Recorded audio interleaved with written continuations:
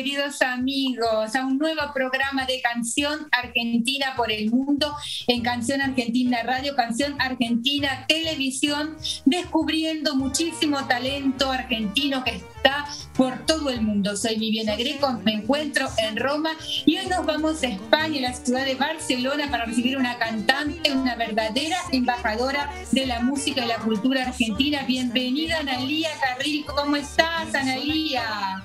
Hola Viviana, muchas gracias, muy bien. Gracias por estar en Canción Argentina por el mundo, Analía, que nosotros descubrimos muchísimos artistas que están por todo el mundo. Vos estás en España, en Barcelona, y contanos un poquito cuánto hace que estás ahí y cómo te fuiste, cómo llegaste hasta la ciudad condal. Hace 20 años exactamente, 20 años y algunos mesecitos ya. Un poco por casualidad, y el destino mismo, el karma, supongo, que me tenía que, traer a estos lares. Eh, vine con, un, con unos amigos, músicos, para hacer música en la calle en esa época, hace, en el 2001 hablamos, y como una aventura, ¿no? Era 20 años más joven que ahora, eh, no tenía hijos, era un poco venir un poco a, Europa a la aventura, eso. Y sí que tocamos en la calle, sí que tocamos en otros lados también. Y estos músicos amigos se volvieron, siguieron haciendo tango, pero en Argentina, y yo me fui quedando, quedando, quedando, quedando.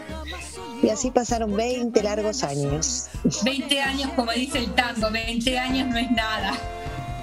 Es bastante y se pasa muy rápido. Me parece que no es nada porque pasan rápido, Analia. Y contanos un poco tu pasión por la música, qué tipo de música haces y cuándo fue que, descubriste la música, si venís de una familia de artistas o cómo fue. Eh, siempre me gustó la música, en mi casa siempre se escuchó mucha música.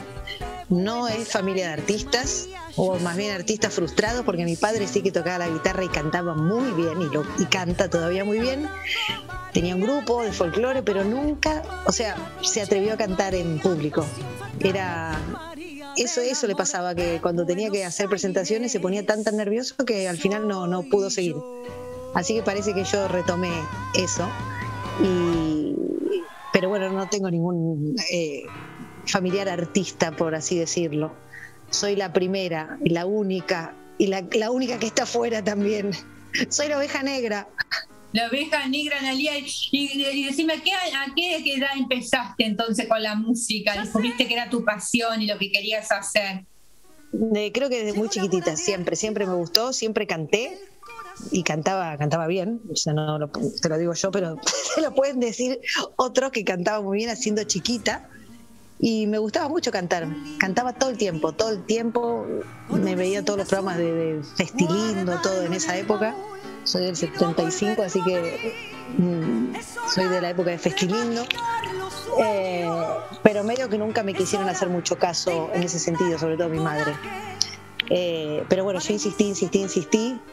Y bueno, fui a coros, eh, profesores de canto, y en el colegio siempre cantaba, siempre, siempre cantaba, actuaba, hablaba, participaba, siempre me gustó.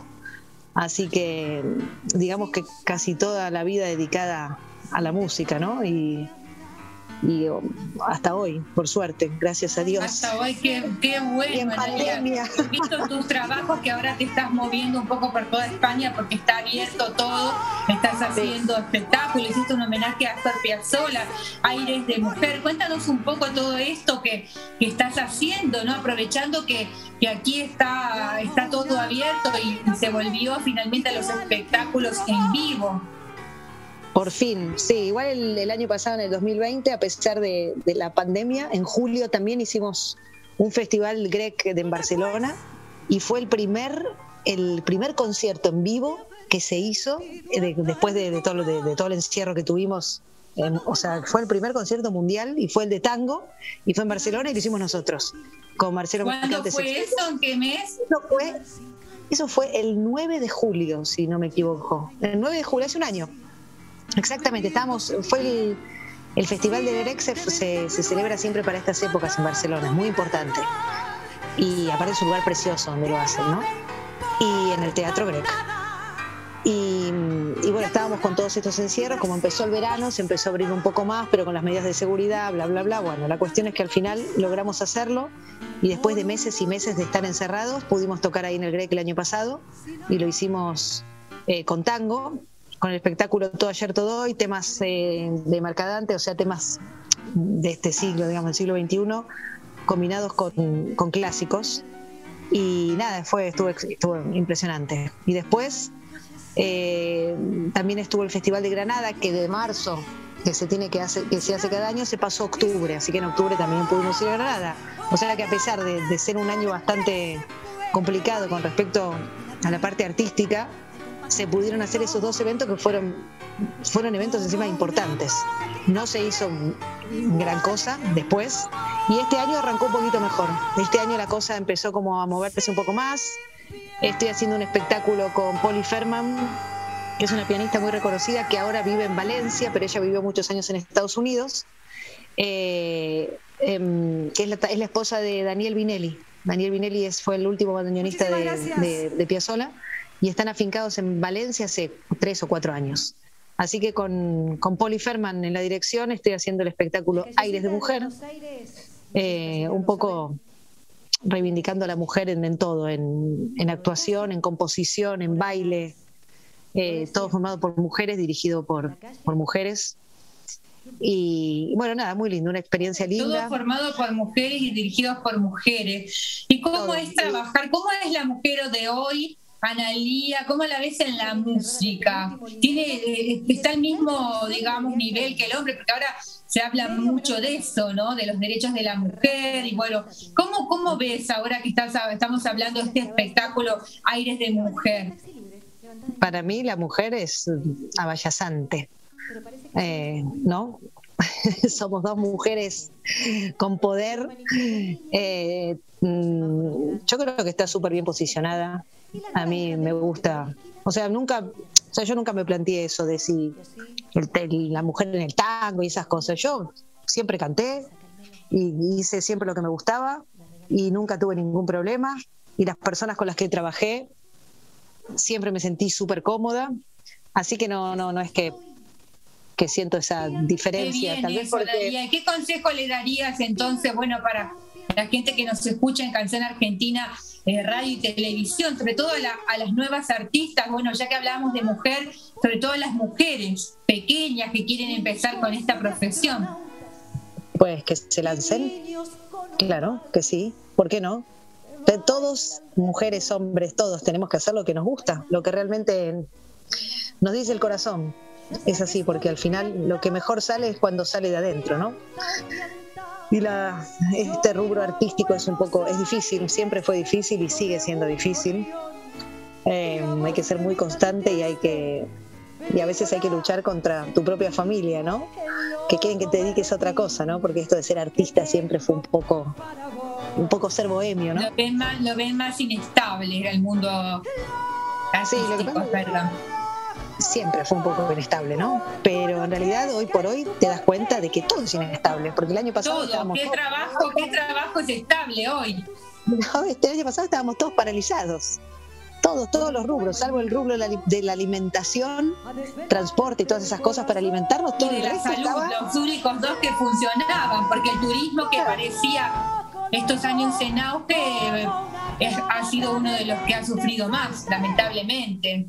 Sí, sí, sí, o sea, todos hemos sufrido de, alguna manera, así que imagínate, después de todo lo que estamos viviendo, hacer cualquier cosa es, eh, hay que hacer lo que uno quiera hacer de corazón y, y bueno, y con, y bueno, y eso. Con pasión, con pasión y luchando, porque es verdad, nadie te regala nada, ¿no? Hay que ganarse. no, la verdad que no. Hay que, nada, hay que, hay que estar, hay que ser constante, tener disciplina. Que tiene que gustar lo que haces. Yo creo que lo mejor es hacer lo que uno le gusta. Es así. Hay gente que obviamente, no todo el mundo puede hacer lo que le gusta. Esto es, esto es una realidad pero, pero bueno, por lo menos intentarlo. Intentarlo, es verdad. Analía, ¿y vos qué pensás ahora de los artistas? ¿Cuánto es importante la comunicación a través de todo lo que es social media, redes sociales? ¿Cuánto es importante eh, tener una página web, estar en YouTube? Cuéntanos un poco qué relación tienes con eso y después nos, nos das eh, tu, contacto de las redes sociales, si las tienes. es importante, importante porque ahora todo es por ahí, es así. Ahora cualquier cosa, mira mi Facebook, mira mi Insta. Bueno, Facebook ya, según mis hijos, es para, para viejos. Pero bueno, igual seguimos usando el Facebook, pero con todo esto que está, esta revolución, tuvimos que aprender, todos. Porque no te quedó otra. O sea, yo hace rato, igual que vengo en las redes, siempre le di bastante importancia a eso, al estar en las redes, no soy una loca de estar todo el tiempo ahí pero cuando tengo eventos sí que los comparto y sé que es una, es una vidriera. Eh, entonces, bueno, hay que aprovecharla. O sea, en ese sentido es mucho más fácil de lo que era antes. Pero al mismo tiempo también es fácil para todo el mundo colgar cosas. Así que te puedes encontrar de todo. Porque ahora cualquier persona se pone a cantar, a tocar, a vender, a, hacer lo que quiera. ¿Y qué pensás de eso, Analía? Porque es un poco más democrático, pero uno encuentra de todo, ¿no? Pero también es verdad que muchos artistas se han hecho virales y se han hecho después eh, famosos porque alguna productora los, los contrató, ¿no? Sí, sí, sí. Pues sí, eso, eso es un poco de suerte, la verdad, creo yo. Eso, eso de hacerse viral y esas cosas, porque a veces hay cosas que se hacen virales que decís, Buah, pero por eso es un poco, yo creo que un poco de destino, ¿no? De, lo que esté destinado, de lo que esté destinado a ser, será. Estés o no estés en las redes, lo que está, lo que está destinado, está destinado. Es así, ahora tenemos las redes. Bueno, ahora nos, nos das cómo podemos encontrarte, tu contacto en Instagram y en Facebook. Sí, sí, estoy en Instagram, en Facebook, en YouTube, con Analia Carril. Si pones en Google. Sí, Analia Carril, que es mi nombre y mi apellido. Eh, y bueno, estoy bastante ahí, sobre todo cuando tengo eventos, obviamente, promocionándolos para que, bueno, para que la gente se entere y bueno, para mostrar también lo que hago. Y bueno, no soy una experta, pero estoy aprendiendo, ¿eh? Qué bien. Y bueno, todo, se aprende, todos los días tenemos que aprender algo y es verdad lo que decían eh, ahora, ¿no? Que nos hemos tenido que adaptar a todo esto, a usar también esta plataforma, que gracias a esta plataforma Zoom nosotros estamos en todo el mundo entrevistando artistas y conectados mucho más que antes, no solo eh, en este mundo de la comunicación de los artistas, sino también con nuestros familiares. Vos contabas que tenés tu familia en Argentina, así que me imagino lo importante que es para vos también estar conectada con tu familia y amigos. ¿Vos sos de Buenos Aires, Analía? De Buenos Aires, capital. Sí, sí, sí. Sí, hace 20 años cuando llegué me acuerdo que no tenía ni ordenador. Hace 20 años, o sea, mm, y el y teléfono tuve, el primer teléfono que tuvimos fue cuando vinimos a España, en el 2001. Nos compramos un teléfono para los cuatro, veníamos cuatro. ¿no? Yo venía con, con que, mi ex marido, que bueno, en ese momento era mi marido, y los dos músicos. Teníamos ese único móvil, me acuerdo, y que es el y después al final yo me compré uno, pero un par de años después.